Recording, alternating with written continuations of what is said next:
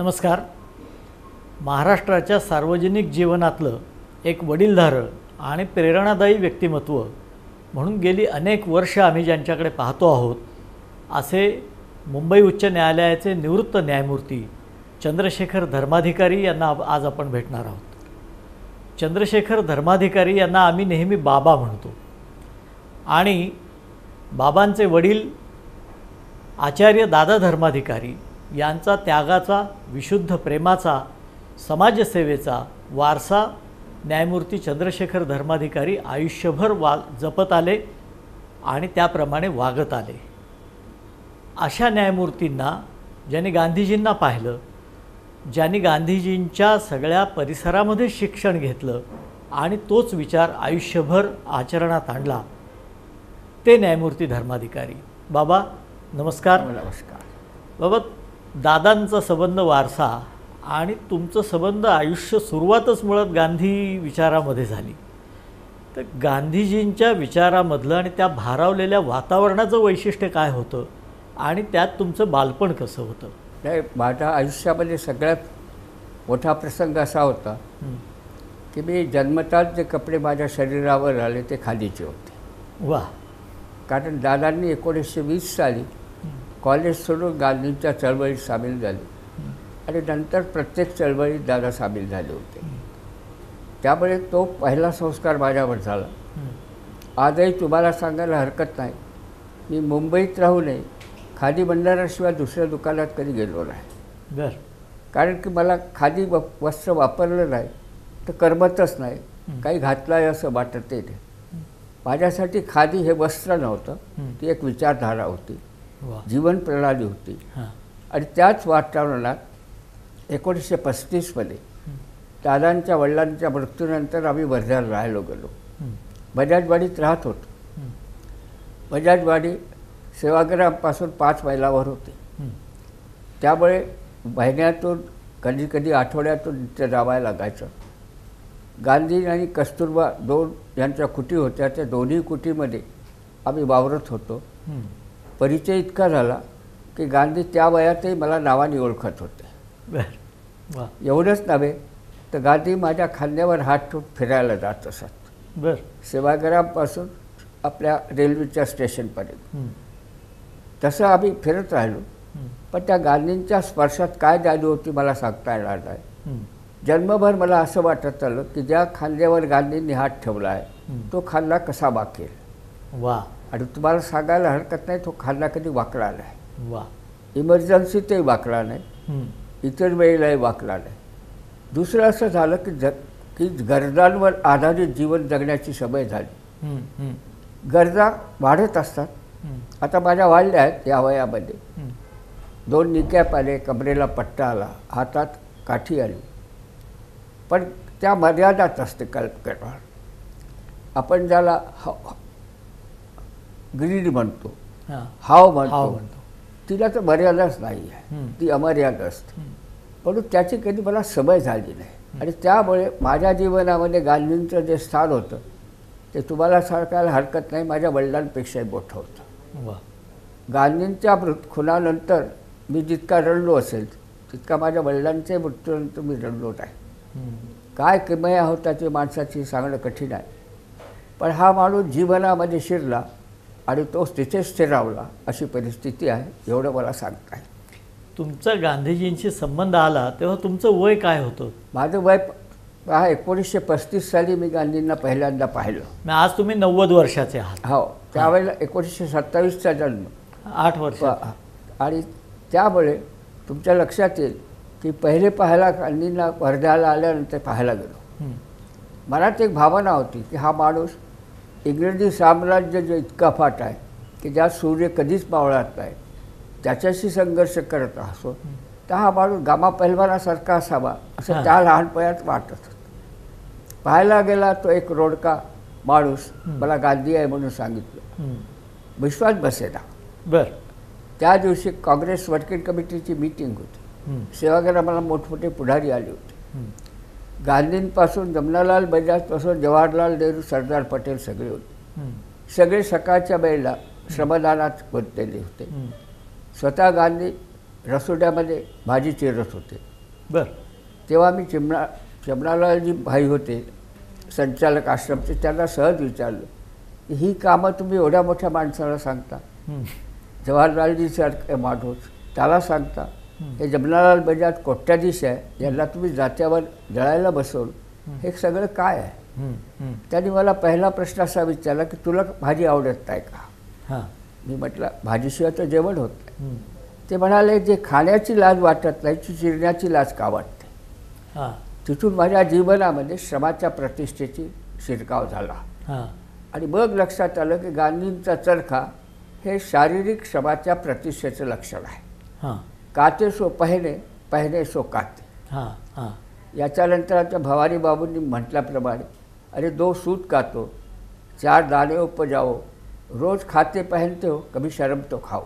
हां. तिथून ती शरम आली. जमनालाल बजाजना जात्यावर दळताना पाहिलं. मी दादांना विचारलं की हे काय आहे? ते म्हणाले यांना स्पॉन्डलायटिस झाला आहे. हाताच्या व्यायामाची गरज आहे. म्हणून गांधींनी यांना जात्यावर दळायला बसवलं. जिम्नॅशियममध्ये गेले असते हात वर खाली केले असते तो व्यायाम झाला असता. त्याला प्रतिष्ठा होती. गांधींचं एवढंच चुकलं की जमनालाल बजाजच्या जात्यावर दळण्यातून त्यांनी पीठ काढलं. उत्पादक परिश्रम आणि उत्पादक व्यायाम हां. भूमिका गांधींच्या जीवनामध्ये जी होती ती जीवनामध्ये नंतर आमच्या कशी शिरली हे सांगणं फार कठीण आहे. मी चळवळीत बेचाळीसच्या सामील झालो. त्यावेळेला एक चौदा पंधरा वर्षाचा होतो. पण मी सामील झालो असं म्हणणं चुकीचं आहे. मी खेचला गेलो. हां. त्या अलिप्त राहणं कठीण होतं. शाळा बंद केली सत्याग्रह करून. मग सगळ्या रिकग्नाईज स्कूलमधून मला सुदैवानं रस्टिकेट केलं. म्हणून मग मी ती बिनभिंतींच्या शाळेमध्ये शिकलो. हां. ती काय होती बिनभिंतींची शाळा? बिनभिंती म्हणजे खाजगी आम्ही एक वर्ग होता आमचा. हां. जेलमध्ये केलेली माणसं होती हां. काही सुटलेली होती हां. ते आम्हाला शिकवत असत. हां. आणि फार विद्वान लोकांकडून मला शिकायला मिळालं. हां. पुस्तकी शिक्षण कमी होतं हां. बाकीचं होतं. हं. तुम्हाला सांगायला हरकत नाही आमचा एक समाज होता हा. हां. ज्याला आम्ही घन घनचक्कर क्लब किंवा घनचक्कर समाज म्हणतो हो. हा शब्दही गांधींकडे आम्ही गेलो होतो की आम्ही एक काढतो आहे आम्ही क्लब आहे आमचा आम्ही खेळतो. हां. आम्हाला आम्हाला याचं नाव पाहिजे काय हां. आहे. हां. ते म्हणाले तू दादांकडे जा. हां. ते तुम्हाला योग्य ते नाव दिली. तुमच्या स्वभावाकडे बघून देत. हां. पण दादांकडे हां. दादांनी घनचक्कर हा शब्द सुचवला. आणि घनचक्करचा मग अर्थ मला कळला की घन म्हणजे ठोस आणि चक्कर म्हणजे गतिशील. हो. हे दोन जीवनामध्ये गांधींच्या मला दिसले. हां. म्हणून तिथून आम्ही घनचक्कर समाजात आलो. आणि तो क्लब आणि समाज असा होता की जेवढी सगळी मुलं आमच्यासारखी गरिबीत वाढलेली होती किंवा गरिबीत जगत होती ती आमच्यासोबत होती. हां. आमच्या घरी संडास साफ करायला येणारा वैकू होता त्याचा मुलगा होता. बाकीची अशीच मुलं होती ज्यांना शाळेमधून बाहेर काढलं होतं. त्यांच्याबरोबर खेळत खेळत शिकलो. आणि मग माझ्या लक्षात आलं की खेळ हा असा एक आध्यात्मिक मूल्याचा भाग आहे. की जिच्यामध्ये पर तुमचा प्रतिपक्षीही तुमचा सवंगडी असतो. हो. खेळामध्ये मॅच आहे. हां. हार जीत आहे. हां. पण नामोहरम कोणीच होत नाही. हो. जो हारतो तो पुढच्या वेळच्या जिंकण्याच्या उमेदीने उभा राहतो. म्हणून आमच्यासमोर नंतर पुढे शब्द आला. तो विनोबांनी मग आम्हाला कळवून सांगितलं की निवडणूक खेळणं शिका निवडणूक लढणं बंद करा. हां हां. कारण की निवडणूक ही खेळायची असते. प्रतिपक्षी तिथे तुमचा लीडर ऑफ द अपोजिशन असतो. इंग्लंडमध्ये त्याला किंग्स ऑपोजिशन म्हणतात. Queen's opposition. या भावनेनं जगत आलं. म्हणून मित्रता खूप काढली मैत्र खूप मिळाली. पण शत्रू नाही मिळाले मला. शत्रुत्व मला करता नाही आलं. आमच्या हिंदीमध्ये एक म्हणत होतं. द्वेष करायचा असेल काही करायचं असेल तिथं करा हरकत नाही. पण मर्यादा एवढी पाळा की नंतर मित्र झाला तर शरम वाटली नाही पाहिजे. वा हां. ही जी भूमिका आली ही खेळातून आमच्या जीवनात आली. त्याच्यानंतर खाजगी पद्धतीनं मॅट्रिक पास झालो. एक दोन वर्ष फक्त चळवळीत गेले. एकोणीसशे चाळीसच्या सत्याग्रहामध्ये. वैयक्तिक सत्याग्रह होता. गांधीजींनी प्रत्येक सत्याग्रहीची निवड स्वतः केली होती. बरं. त्यांनी पहिले सत्याग्रही म्हणून आचार्य विनोबांना निवडलं. त्याच्यानंतर जवाहरलालचा नंबर लागला. हां त्याच्यामध्ये आमच्या आईने पहिल्यांदा गांधींकडे जाऊन ती जे सत्याग्रहामध्ये जाऊ इच्छिते असं म्हटलं. तिला गांधींनी परवानगी दिली आणि दादांना सांगितलं की आता तुम्ही घरी राहून मुलांचा सांभाळ करायचा ती चाळीसच्या सत्य वैयक्तिक सत्याग्रह गेली. नंतर बेचाळीसच्या चळवळीमध्ये आले. पुन्हा मी असं म्हणेन आपण दुर्दैव म्हणू की सुदैव म्हणू तिच्या मेंदूवर त्याचा परिणाम झाला. तिच्या मेंदूच्या परिणामानंतर आम्ही करीब करीब अनिकेतासारखे राहिलो. हो. आईच नव्हती त्यामुळे घराला घरपणच नव्हतं. आणि तिच्या वेड्यांच्या बाबतीमध्ये मी अगदी वेड्यांच्या इस्पितळांमध्ये बंगलोर नागपूर सगळ्या ठिकाणी केला. आता तुम्हाला सांगायला हरकत नाही एकोणीसशे अठ्ठेचाळीसच्या ज्या दिवशी गांधींची हत्या झाली त्याच दिवशी सकाळच्या वेळेला दादांची आणि गांधींची भेट झाली होती. बर. त्यांनी आमच्या आईची चौकशी केली. हां. ते आईलाही वहिनीच म्हणत. हां. कारण बाकीचे सगळे वहिनी म्हणत असत. तेव्हा त्यांनी विचारलं की तब्येत कशी आहे. दादा म्हणाले की डॉक्टर्स म्हणतात ती स्प्लिट पर्सनॅलिटी आहे. दुभंगलेलं व्यक्तिमत्व आहे. हं. सुधारणा यात होणं शक्य नाही. तेव्हा गांधी म्हणाले तुम्ही काळजी नका करू. मी फेब्रुवारीमध्ये येतो आहे. सेवाग्रामला तिला आपल्यासोबत घेऊन राहील. हां. तेव्हा दादा त्यांना म्हणाले की तुम्ही आता का वेळ खर्च करता तिच्यासाठी? जर आपण सुधारू नाही शकत म्हणते. तर ते म्हणाले की ज्यांनी माझ्या म्हणण्याखातर आपलं जीवन समर्पित केलं त्यांच्याकरता मला वेळ नसेल तर कुणासाठी वेळ आहे? असं म्हणून त्यांनी ती जबाबदारी स्वीकारली. पण त्या दिवशी ते येऊ शकले नाही. पण आयुष्यामध्ये काही या ज्या गोष्टी आल्या ज्याला त्यावेळेला दुःखाचे प्रसंग आपण म्हणू गरिबी तर खूप उपभोगली सुरुवातीपासून उपभोगली होती. हो. त्याही वेळेला उपभोगत होतो मला आठवत आहे की आम्हाला रेशनचा त्यावेळेला मका मिळत होता तो किंवा कोण- काय अन्न खायला मिळालं. तुम्हाला गंमत सांगतो या माणसाचा अप्रत्यक्ष परिणामांचा आमचा असं झाला की मी आयुष्यात कधी फटाके उडवले नाही बर. दिवाळीतसुद्धा नाही. कारण फटाके विदेशी होते. एवढंच नव्हे तर नंतर आम्ही फटाके सोडा लवंगसुद्धा दादा सुपारी खात असेल पण लवंग खात नसत आम्ही त्याला विचारलं ते म्हणाले हळदी बारून आपल्या देशात ते नाही. टाचणीसुद्धा आपल्या देशात त्यावेळेला होत नव्हती. बर. म्हणून बजाजवाडीत आम्ही जिथे राहत होतो किंवा गांधींच्या आश्रमामध्ये दोन कागद जोडण्यासाठी पिनच्या ऐवजी बाभळीचे काटे वापरत असत. बर. त्या बाभळीच्या काट्यांपासून आयुष्यामध्ये जे स्वदेशीचं व्रत आलं ते स्वदेशीचं व्रत जन्मभर माझ्यासोबत राहिलं. आजही मला स्वदेशी व मेड इन इंडिया पाहिल्याशिवाय काही वाटत नाही. मी मेक इन इंडियावाला नाही आहे. हां. परदेशातल्या लोकांनी येऊन माझ्या देशात जी वस्तू केली ती स्वदेशी होते असं मी नाही मानत जिथं कच्च्या मालापासून श्रमापासून सगळं आपलं असतं ती स्वदेशी. तर ही स्वदेशीची भावना त्यावेळेपासून जी चिटकली त्यांनी फार फायदा झाला मला. खादी वापरत होतो म्हणून फॅशनच्या मागे गेलो नाही. आणि जे कपडे खादीचे वापरत होतो ते इतरांच्यापेक्षाही माझे फॅशनेबल वाटत असत. कारण वेगळे होते. वेगळेपणासाठी आपण कापड वापरतो ही सगळी भावना आल्यानंतर आजही माझ्या जीवनात तुम्हाला सांगायला हरकत नाही की मी आजही फटाके उडवत नाही. दिवाळीतसुद्धा उडवत नाही. हं. का नाही उडवत? आता भूमिका वेगळी आली. कारण शिवकाशी म्हणून जे आहे फटाक्याचं असतात तिथे लहान मुलांचे फटाके करतात. हो. त्यांचे हात सगळे भाजलेले असतात. त्या भाजलेल्या हातांनी मुलांच्या हातांनी मुलांचं शोषण होऊन जो फटाका निर्माण होतो त्याच्यातून आनंद निर्माण होऊ शकतो याच्यावर मला विश्वासच नाही. म्हणून मी आजही फटाके शोषणावर आधारित समाजात आनंद मिळतो याच्यावर माझा विश्वास कधीच राहिला नाही. आणि तेही मी गांधींचं श्रेय असं मानतो. वैयक्तिक जीवनातही मी ब्राह्मण आहे धर्माधिकारी आहे. पण माझा वर्तमान्य किंवा मूल्य झाली नाही. हां. किंवा विशिष्ट जातीचा संस्कार व्हावा असं आम्ही कधी मानलं नाही. म्हणून धर्माधिकाऱ्यांच्या मूळ घराण्यामध्ये मी शूद्रात राहिलो. त्यांच्या पंक्तीतही मला बसता येत नव्हतं. हां. त्यांच्या बाथरूममध्येही आंघोळ करता येत नव्हती. पण त्याचाही फायदा खूप झाला. धर्माधिकारी नावाचे पाहुणे माझ्या घरी फार कमी आले. एक कुटुंब व्यवस्थेमधला जो मर्यादा आहे मर्यादित संबंध त्याच्या पलीकडे आम्हाला दादांच्यामुळे आणि गांधींच्यामुळे जाता आलं. तुम्हाला मी हेही सांगायला हरकत नाही की आमच्या घरी जेव्हा दिवाळीपासून कुठलाही सण असेल त्या सणाच्या दिवशी मेहूल आपल्याकडे महाराष्ट्रात आहे तुम्हाला वाटतं. सवाष्ण बोलवण्याची पद्धत. आमच्या घरी आमच्या घरी संडास साफ करायला जो पैकू येत असेल तर तो आणि त्याची बायको दोघंच सवाष्ण असत हं.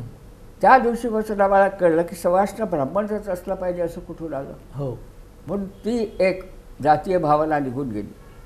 लग्नाला उभं राहिलो तर दादांच्या प्रवाकारामुळे माझ्या बहिणीचं लग्न झालं.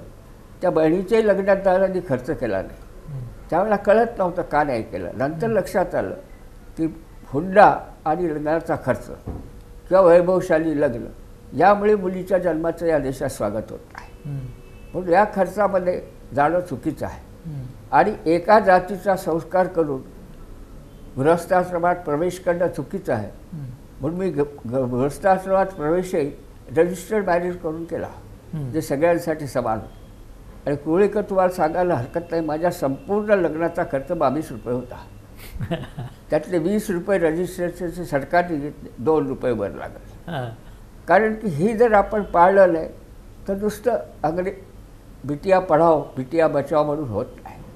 ही सगळी पाथ्य पाळावी लागतात कुठंतरी.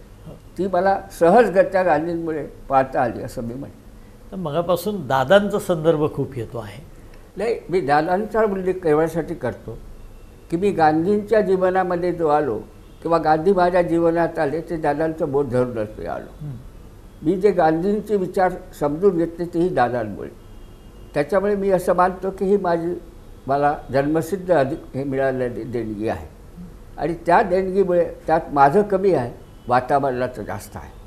ज्या बजाजवाडीत मी राहत होतो ती बजाजवाडी अशी होती की आपण ऋषीमुनींच्या आश्रमाबद्दल सगळं वाचलं आहे पुराणा हं. पण त्याच्यापेक्षाही मोठी माणसं एक होती.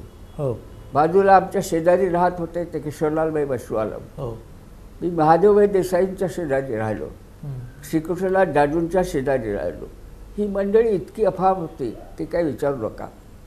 आणि या याच मंडळीकडून मी गांधींच्या विचारांच्या मध्ये शिरकाव केला. वर्किंग कमिटीची मीटिंग बजेटवाडीत होत असे. वर्षातून दोनदा व्हायची. आणि या दोन मंडळी जिसं या गेस्ट हाऊसमध्ये ही मंडळी उठवायची ती सगळी मंडळी आमच्या शेजारी होती हं. सुभाष बाबू माझ्या घरी येऊन गेले. त्यांना माझ्या आईचा स्वयंपाक आवडत असे म्हणून जेवायला येत माझ्याबरोबर जवाहरलाल नेहरू माझ्या क्लबच्या बरोबर आमच्याबरोबर खेळायला येत असत फुटबॉल खेळले आहे.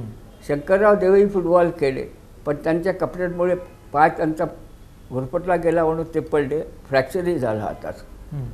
या लोकांच्या बरोबर आम्ही खेळलो. पण या मंडळींनी आम्हाला उपदेश करावा असं नाही. झालं नाही. एक दिवस वर्किंग कमिटीची मीटिंग होती. म्हणून आम्ही हवी हळू आवाजात वंदे मातरम म्हटलं. खेळ संपल्यावर आम्ही दर रोज म्हणत होतो.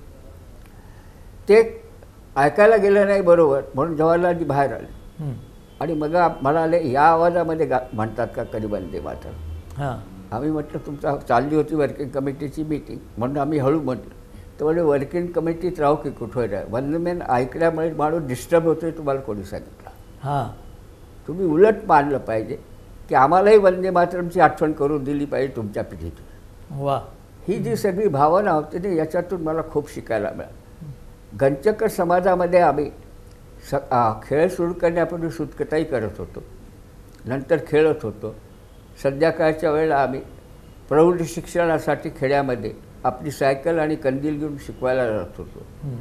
त्यावेळेला मनात जी असे ना की शिक्षकाबद्दलची भावना की तू शिक्षक झाला की काय होतं पाहू. त्याच्याप्रमाणे आम्ही वागलो. त्याच्यामुळे त्या लोकांशी संबंध आला. या लोकांशी संबंध आला. श्रीमंतांशी संबंध कमी आला. आला तो फक्त जमनालाल बजाज आणि त्यांच्या कुटुंबाशी आला. जिथं खादीशिवाय आणि गांधी विचाराशिवाय दुसरं काही नव्हतं. त्या ठिकाणी आम्हाला काय काय भावना असते ट्रस्टीशिपची काय भावना राहील विश्वस्त भावना काय असते हे पाहायला मिळालं. म्हणून जीवनात मी जीवनातूनच जास्त शिकलो. चळवळीतून जीवनातूनच साकारलो पण चळवळीमध्ये लोकांना खूप त्रास झाला. पकडला गेलो होतो मी बेचाळीस साली.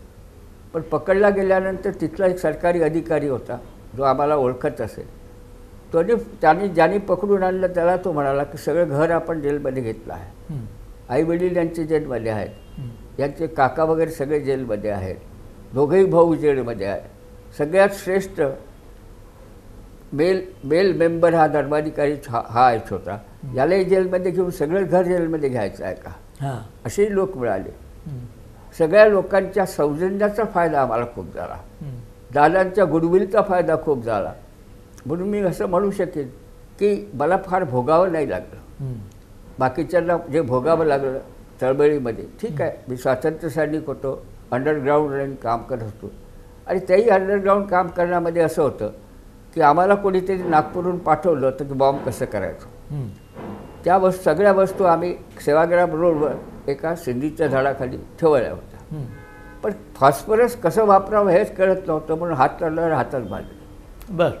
सगळ्यात शांत जागा असे जिथे कोणीही आम्हाला दुसरं करायचं ते स्मशान असे. श्मशानामध्ये प्रेत जळत असताना एकत्र बसून मग जे करायचं ते ठरवत होतो. कारण पोलीसवाल्यांपासून सगळ्यांना वाटायचं की प्रताबरोबर आले आहे म्हणून आम्हाला तिथे डिस्टर्ब कोणी केलं नाही. हं. इतकं शांतपणे आम्हाला चळवळ करता आली. अंडरग्राऊंड असताना आम्ही पुष्कळ गोष्टी काढल्या सायक्लोस्टाईल गोष्टी काढल्या. भन्साळींनी उपवास सुरू केला होता पाच सात दिवसाचा. आम्ही भन्साळींच्या नावाने परिपत्रक काढून घरोघर वाटत होतो त्याची जबाबदारी नव्हती आणि संडासाच्या वर एक छोटीशी फळी होती तिथे आम्ही सायक्लोस्टाईल मशीन ठेवून हे सगळं करत होतो. त्यामुळे घराचे दोन चारदा आमच्यावर रेड आली. आले ते बघायला. त्यांच्या हाती काही लागलं नाही. आणि मग आम्ही त्यांना म्हटलं की घरात भाजी चिरायची बिळी आणि दादांचा सुपारी खांडाचा अडकितला दोन शिवाय या घरामध्ये काही नाही. कारण आम्ही त्यावेळेला दाढी करत नव्हतो म्हणून बिडीसुद्धा नाही म्हटलं. तुम्हाला सांगतो इतकं सुखाचं आयुष्य चळवळीमध्ये माझं गेलं. नंतर ती मला फार भोगावं लागलं मजूर चळवळीतही मी एकमेव पुढारी असेल ज्याला उपवास नाही करावा लागला काळाची पाऊले हो हे जे तुमचं आत्मचरित्र आहे, त्याच्यात दादांच्या खूप आठवणी तुम्ही लिहिल्या. पण लोकांसाठी दादांच्या काही एखाद दुसरी आठवण सांगा नाही दादांच्या बाबतीत एकच म्हटलं पाहिजे की दादांपासून मी काही गोष्टी शिकलो. खूप शिकलो. एकदा कुणावर तरी टीका करत होतो. तेव्हा त्यांनी मला म्हटलं की बघता आले तो गुण पाहावे. दोषाचा इतका मोठा साठा आपल्या जवळ देवाने दिला आहे की इतरत्र बघण्याची गरज नाही. पण बघता आले तर गुण पाहता आले पाहिजे. ती पहिली मला तुम्ही त्याला गांधी विचाराची म्हणा की कोणाची म्हणा ती शिकवण माझ्या जीवनात आली. दुसरी शिकवण आली की आयुष्यामध्ये गरजांवर आधारित आयुष्य असावं. हां. पण तुम्हाला सांगायला हरकत नाही. मी वकील होईपर्यंत कोट घातला नव्हता. हां. नेकटाय वापरावा लागतो तोही वापरला नव्हता. इथं आल्यावरही खादीचे गाऊन आणि खादीचे कपडेच मी वापरत होते ते तिकट कमी असत पण इतर वस्त्र वापरावं असं वाटलं नाही. ही दादांचीच कृपा होती. आणि तिसरी गोष्ट दादांकडून शिकलो की तीन ड्रेसेसशिवाय चौथा ड्रेस कधी शिवला नाही. हां. दोन असायचे एक असलेला एक्स्ट्रा म्हणजे एक ठाणभर कापड आणायचं आणि त्या ठाणाचा पूर्ण कपडे आमच्या तिघही भावांचे शिवले जायचे असे होतं. हं. गरजांवर आधारित जीवन जगणं हे दादांपासून जे आम्ही शिकलो ते तुम्हाला सांगतो अप्रतिम होतं. तर दादांच्यामुळे तुम्हाला गांधीजींशी संबंध आला. तर गांधीजींच्या काही आठवणी सांगता येतील का? नाही गांधीजींची आठवण ते एक तुम्हाला सांगितलं ते कस्तुरबांची आठवण माझ्या मनात आहे. हां. कारण कस्तुरबांची कुटी अशी होती हं. की जिथं पाहुण्याला जो चहा पित असे त्याला चहा मिळत असे. बरं. आणि आम्ही असं म्हणत होतो की चहामध्ये जास्त संस्कृती आहे दुसऱ्या कोऱ्या दुधात नाही. बरं. म्हणून कस्तुरबाचं को कुटी जी होती ती आमच्याकरता आईची कुटी होती. आई गेल्यानंतर कस्तुरबाच्या संबंधामुळे आणि तिच्यामुळेच आम्ही राहिलो. दुसरं असं होतं की गांधींच्यामध्ये दुसरा गुण आम्ही असा पाहिला की या माणसाच्या झोपडीला दरवाजाच नव्हता. बरं. कुठल्याच झोपडीत दरवाजा नव्हता. ते बसायचे ती जागा खुली होती. इकडची ज्याच्यात त्यांचं बाथरूम वगैरे असते ती जागा खुली होती. मोकळेपणानं जगणं. आणि कुठलंही वस्तू लपवून न ठेवण्याची जी वृत्ती आहे. ज्याला तुम्ही ट्रान्सपरन्सी म्हणता ती ट्रान्सपरन्सी या माणसाच्या जीवनात जी आम्ही पाहिली ती कधीच पाहिली नाही. दुसरी यांच्याबरोबर फिरायला जाताना चर्चा होत असेल हां. इतरांच्या सोबत ती ऐकून खूप शिकायला मिळालं हां. गांधींच्यामुळेच माझ्या जीवनामध्ये बेचाळीसची चळवळ आली भारत छोडोची आली. गांधींच्याचमुळे आश्रमाची व- व- हे आली तो आश्रमही असा होता की आश्चर्य वाटत असे. हां. या आश्रमामध्ये सकाळी पाच वाजता सहा वाजता उठल्याबरोबर. गांधी तुमच्या दारात असेल. जर तुमच्या घरी कोणी आजारी असेल तर. बरं. चौकशी करायला. हां. निसर्गोपचाराचं औषध सांगायला. इतका मानवीय माणूस आणि इतका कौ कौटुंबिक भावनेवर जगणारा माणूस मी पाहिला नाही. गांधी घड्याळाकडे पाहून चालत. म्हणजे कोणीही भेटायला आलं असेल परदेशी पाहुणा असेल तर दिलेली वेळ संपली की घड्याळाकडे पाहत असत पण फक्त आपल्या कार्यकर्ता करता कधी घड्याळ पाळलं नाही या माणसाने. हां. या माणसामध्ये जेवढी माणुसकी मी पाहिली कुठंच पाहिली नाही. आणि त्या माणुसकीचा जो परिणाम आहे तो गांधींच्या जीवनात नंतर वाचायला मिळाला. पण अनुभवाला त्याच्या अगोदरच खूप मिळाला.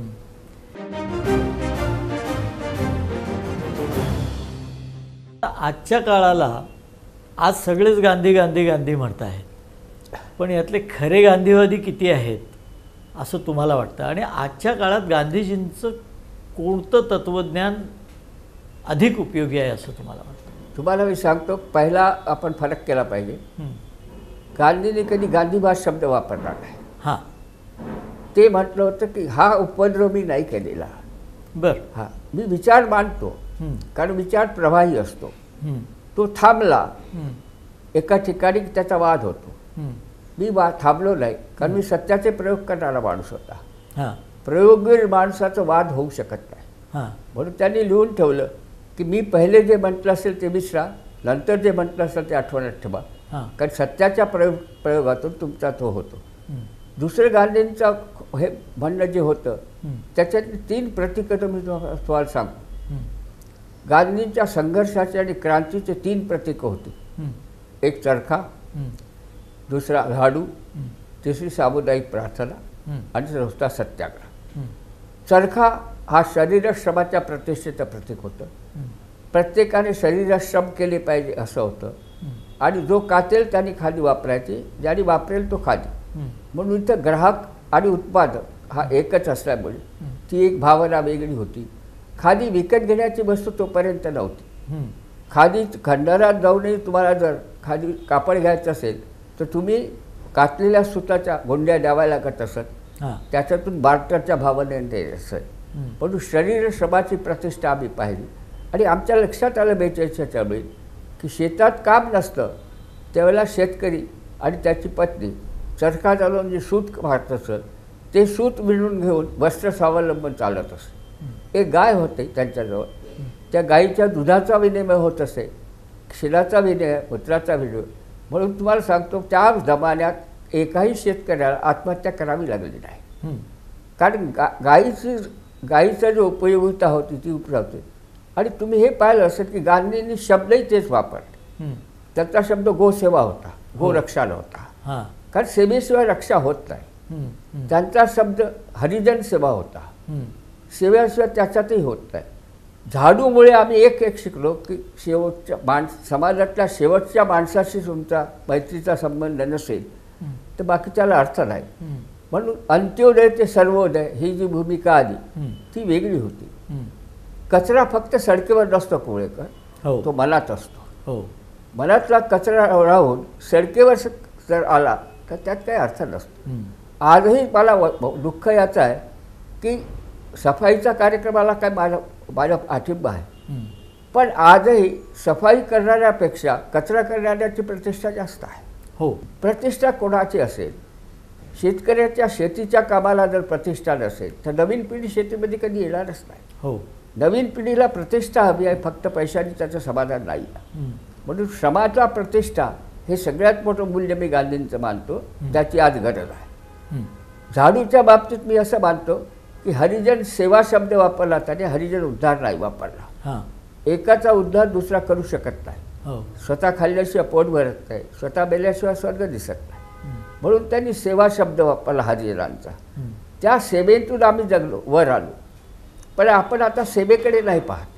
उद्धाराकडे बघतो. उद्धाराकडे पाहत गेल्यावर मला शब्द आठवतो एकाचा you can not preserve the dignity of man on charity हो दान दयेवर तुम्ही कोणाची प्रतिष्ठा नाही तोडू शकत. त्यामुळे प्रतिष्ठा नाही येत.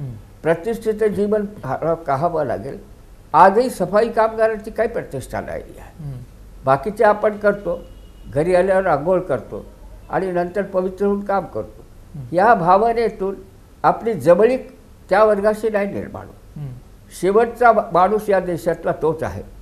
तोही आपल्या प बंग पत्नीला आपल्यापेक्षाही कनिष्ठ मानतो.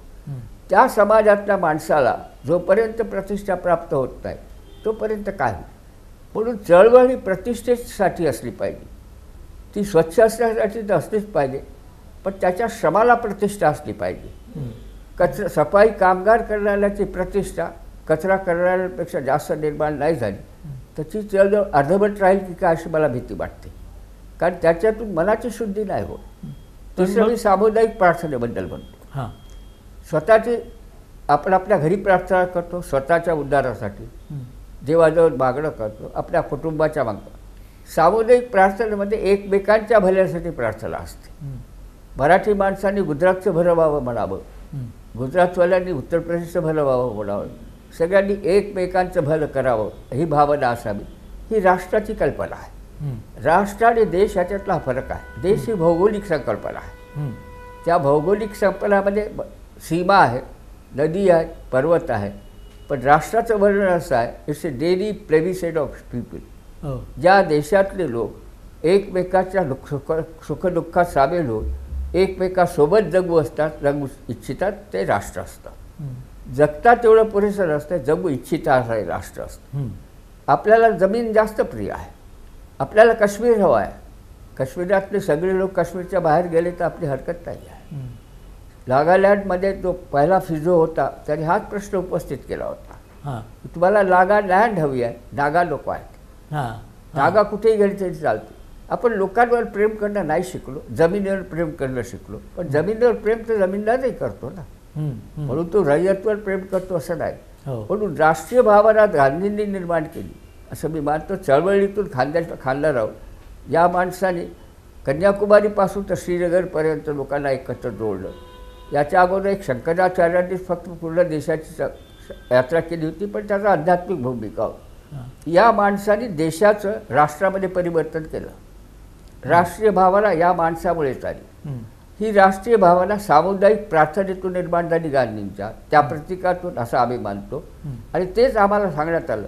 सर्व धर्म प्रार्थनेमधून सर्व धर्माबद्दलचा आदर निर्माण झाला. जी आपल्या समाजवादी शब्दाचा जो अर्थ होता आणि सेक्युलर शब्दाचा जो अर्थ जनता सरकार आल्यानंतर त्यांनी त्याची व्याख्या दिली होती की equal respect for all religion. ती पार्लमेंटमध्ये पास झालं राज्यसभेमध्ये यांची मेजॉरिटी होती म्हणून नापास झाली पण आजही कॉन्स्टिट्यूशनमध्ये याची व्याख्या नाही हं. पण याच्यापेक्षा दुसरी चांगली व्याख्या काय असू शकते की प्रत्येक धर्मामध्ये समान आदर हो. आदराचा संबंध काही भावनेशी नाही झाला हो.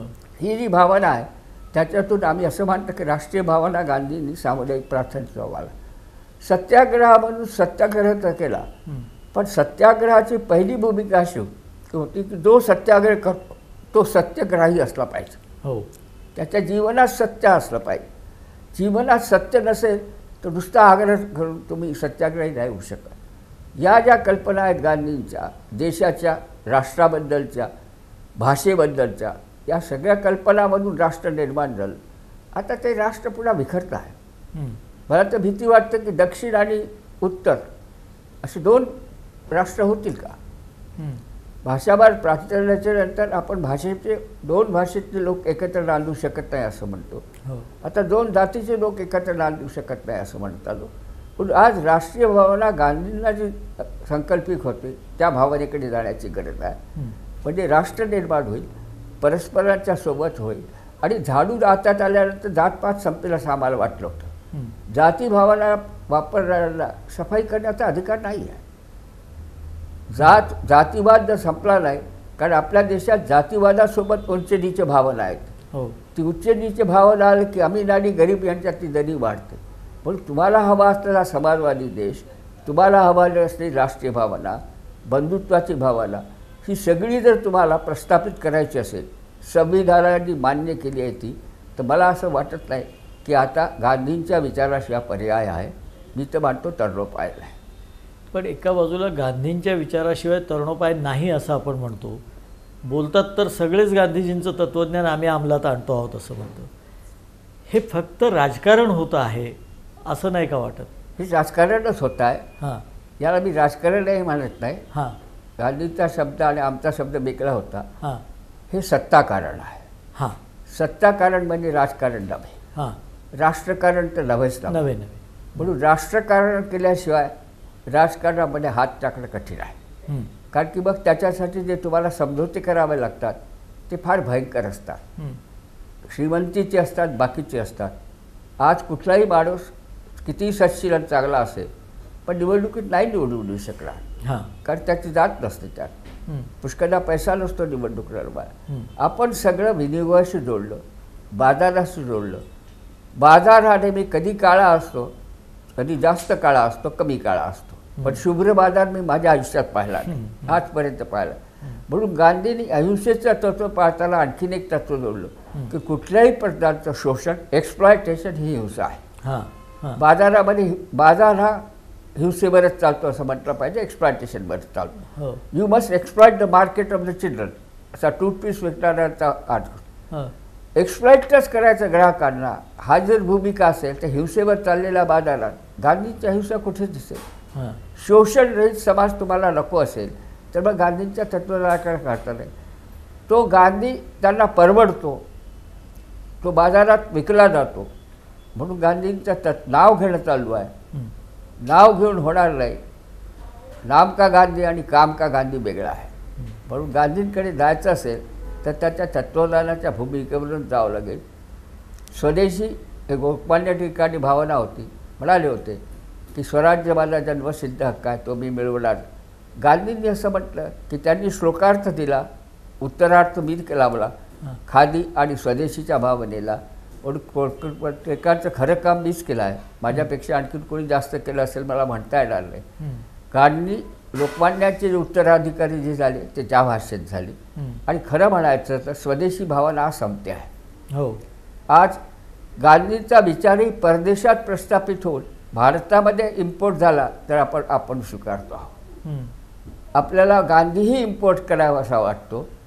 एक्सपोर्ट करण्याची वस्तू होते. नाईन इलेवनमध्ये वर्ल्ड सेंटर पडलं. तेव्हा तरुण लोकांनी एक का चळवळ केली होती. We want peace no war मुस्लिम लोकांनी असं म्हटलं होतं की प्रत्येक मुसलमानाचा मुलगा तब्बेलीन बहिणींचा तुम्हाला अनुयायी असं का वाटतं? त्यांनी पुष्कळ प्रश्न उपस्थित केले फार चांगले पडले पण ते आपण उचलले नाही हं. आणि दुर्दैवानं ज्या दिवशी ट्रेड सेंटर पडलं गेलं तो विनोबांचा जन्मदिवस होता. हो. आता हे सगळे येऊ इच्छितात हिंसेकडे. सगळ्या परदेशी लोकांनी असं म्हटलं की हुसेन एकही प्रश्न सुटत नाही. हो. अक्रॉस द टेबल सुटेल. पण तुम्हाला सांगतो या गांधीजी असं आहे की वर्ल्ड ट्रेड कॉन्फरन्समध्ये जेव्हा बोलावलं हां. तिथे वर्ल्ड ट्रेड नाही round table conference round table तेव्हा ड्रेसचा कोड होता. हां. की संपूर्ण ड्रेस परदेशी असला पाहिजे इंग्लिश हा माणूस म्हणाला मी नाही. जसा माझा पोशाख आहे त्या पोशाखातच मी आहे. त्यांचे कपडे तेच होते. एक धोतर ते गुंडाळलेलं. शाल होती. ती थोडीशी फाटली होती म्हणून घरच्या सोबतच्या मुलींनी हाताने शिवली होती. आणि तसंच ते गेले. आग्रहाने गेले. तेव्हा तिथे प्रश्न विचारला गेला की चर्चिल ज्याला लंगोटी म्हणत तसं त्या पोशाखामध्ये हा माणूस आला. याच्याजवळ सत्ता नाही आहे पैसा नाही आहे काहीच तर नाही आहे. याच्यासाठी आपण का समजोता केला.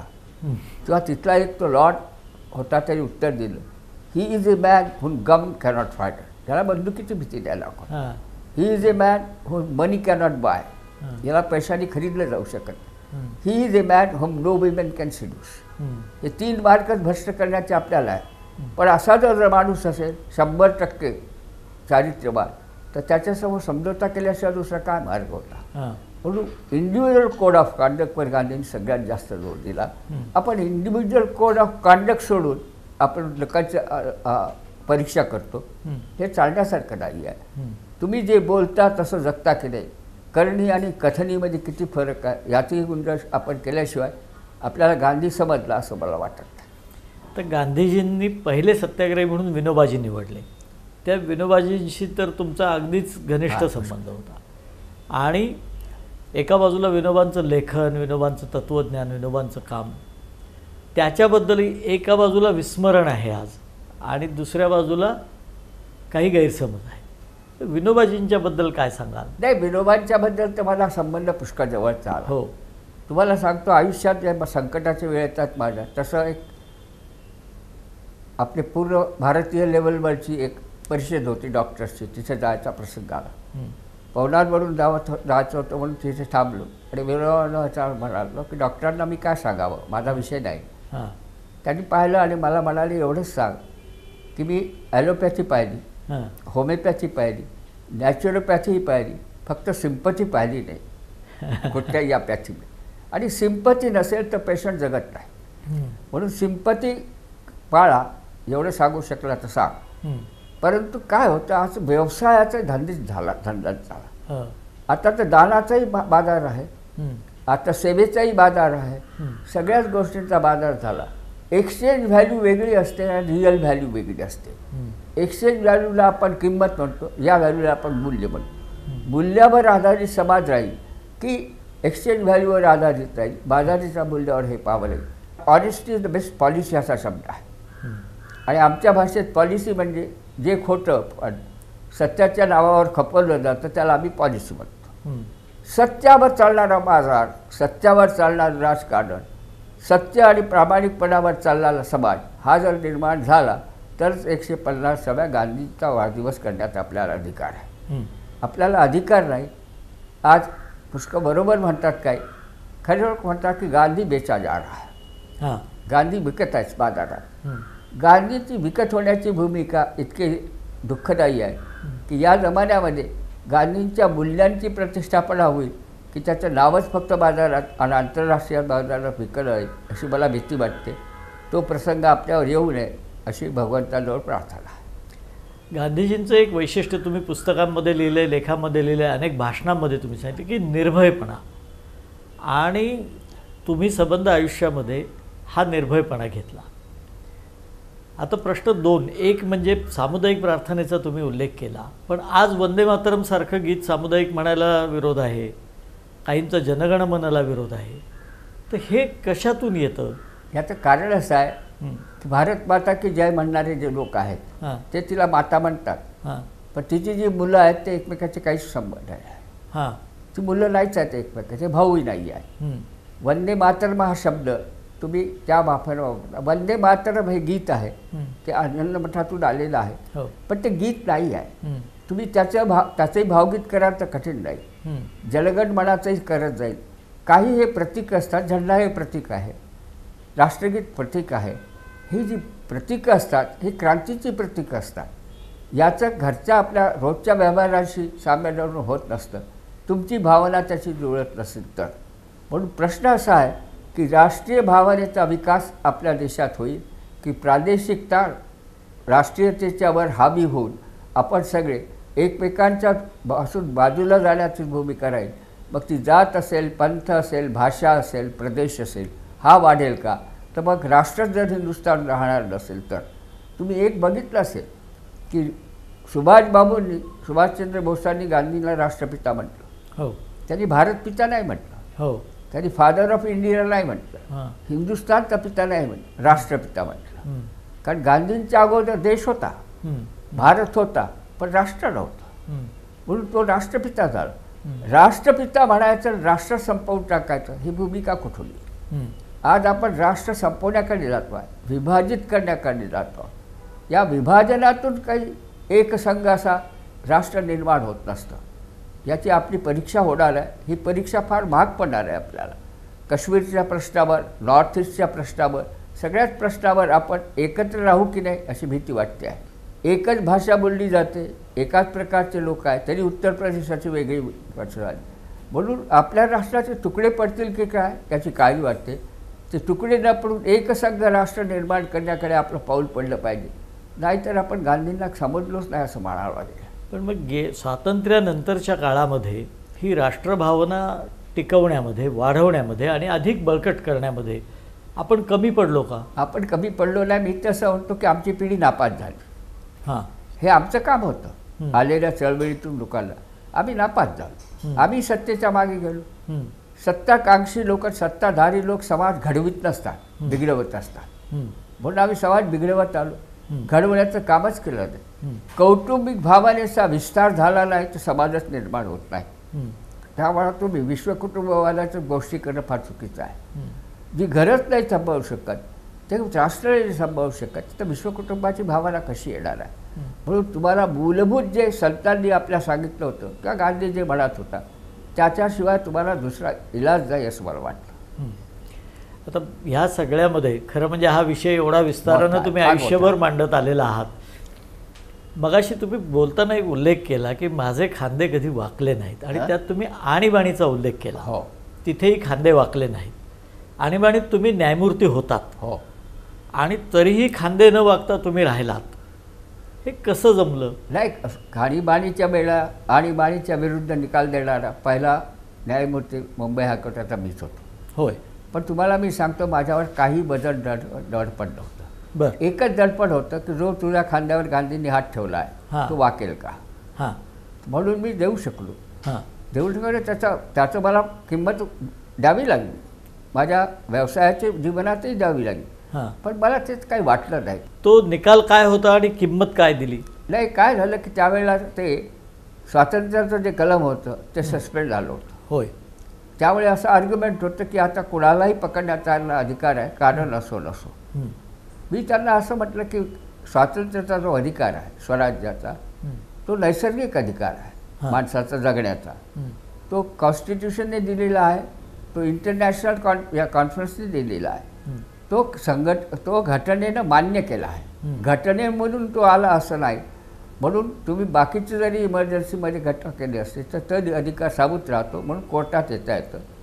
म्हणून मी कोर्टामध्ये निकाल देताना तो निकाल तसा निकाल दिला की त्याला किती लोकांना असं सोडलं. त्यावेळेला मला समाधान नाही नाही तर न्यायपालिका नपुंसक आहे ही भूमिका मी आयुष्यात स्वीकारली नाही. आणि तेवढंच मी म्हणू इच्छितो मी आजही स्वीकारत नाही. हो. अन्याय दिसत असेल तर न्याय करता येत नाही असं म्हणणं चुकीचं आहे. म्हणून न्याय करण्याचा मी प्रयत्न केला आणि ती मला जी शक्ती मिळाली ती गांधींपासून मिळाली असं मी म्हणेन. त्याची किंमत काय मोजावी लागली? ते किंमत काय बोलवलं चीफ जस्टिस नाही झालो. हां. मुख्य नाही झालं चीफ. जस्टिस सुप्रीम कोर्टात माझी दोनदा झा- जाऊनही मला नाही मिळाली. तर मीच सांगितलं होतं चीफ जस्टिसच्या त्यावेळेच्या की तुम्हाला नाही करता येणार हे. हां. कारण की मला कोणतं तुम्ही कुठल्याही प्रदेशाला आणि राष्ट्राला सरकारला मी अभ- अभिप्रेत नाही. आहे त्यांना त्यांच्या बंदीचा न्यायमूर्ती हवा आहे. ते माझ्याकडून त्यांच्या अपेक्षा नाही आहे. कारण त्यांनी ते असं म्हणूनच ठेवलं आहे की ही टू इंडिपेंडंट हा फारच स्वतंत्र आहे. स्वतंत्र न्यायमूर्ती नसेल तर न्यायमूर्ती कसा असतो? हे कुणी म्हटलं होतं he is too independent too independent हे त्यावेळेच्या सरकारचं वाक्य आहे. हां. माझं नाव जेव्हा आलं आणि ते मंजूर हा प्रश्न आला तेव्हा. त्यांनी म्हटलं होतं की टू इंडिपेंडंट. इतका स्वतंत्र माणूस आम्हाला नको आहे. हां. मी त्यांना म्हटलं हे मला मिळालेलं सर्टिफिकेट आहे. हो. ते माझ्याकरता पदापेक्षा मोठं आहे.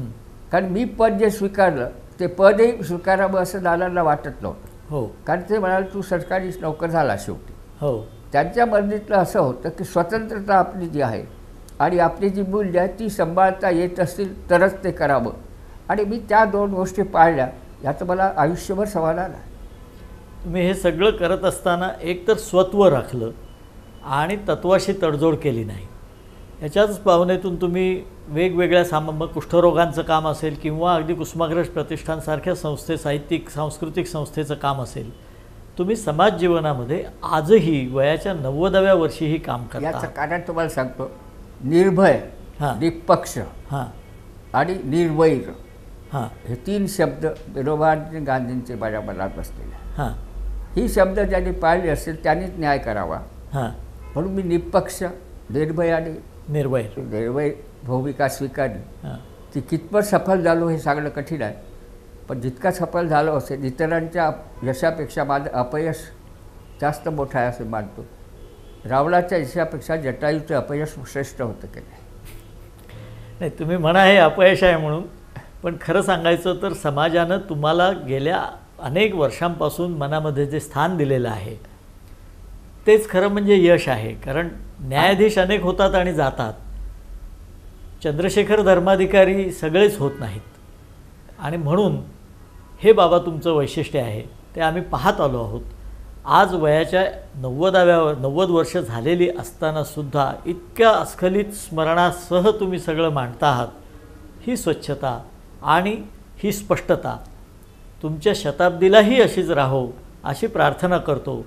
आणि शताब्दीला आपण पुन्हा याच सगळ्याचं स्मरण करूया अशी प्रार्थना करून गोळेकर तुम्हाला. एवढंच पडेल. हां. की मी शताब्दीपर्यंत जगावं हां. असा भारतवर्ष तुम्ही निर्माण करू शकला. मला जगण्यात आनंद आहे.